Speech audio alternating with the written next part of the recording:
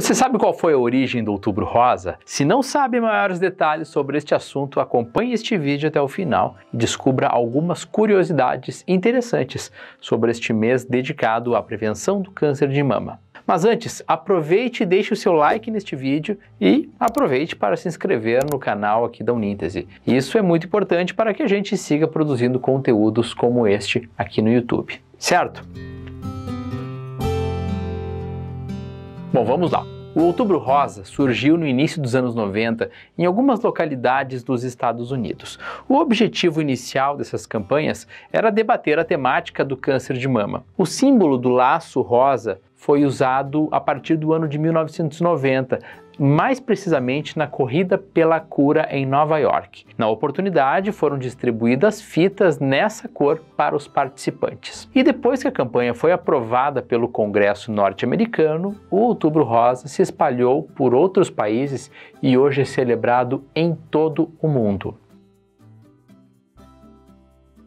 O Outubro Rosa chegou ao Brasil na virada para os anos 2000. O primeiro ato simbólico de maior relevância da campanha aqui no país foi quando o obelisco do Ibirapuera, em São Paulo, foi iluminado na cor de rosa.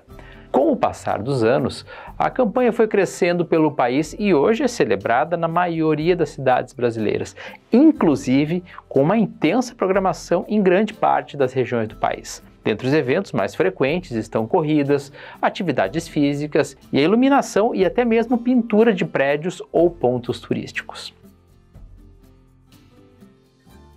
O câncer de mama mata mais de 600 mil mulheres a cada ano em todo o mundo. Somente no Brasil são confirmados aproximadamente 60 mil novos casos da doença anualmente. A boa notícia é que em 95% dos casos o câncer de mama tem cura, desde que seja diagnosticado de forma precoce. Por essa razão, o Outubro Rosa é tão importante, pois estimula que cada vez mais mulheres façam os exames de maneira correta e frequente. Quanto mais cedo for um diagnóstico, mais eficaz será o tratamento em caso de mulheres que tenham a doença. Um dos principais objetivos do Outubro Rosa é incentivar as mulheres a fazerem exames preventivos. Segundo o Ministério da Saúde, mulheres entre 50 e 69 anos devem fazer o exame de mamografia a cada dois anos. Entretanto, esse período deve ser decidido por um médico especialista que saberá avaliar o caso de cada paciente.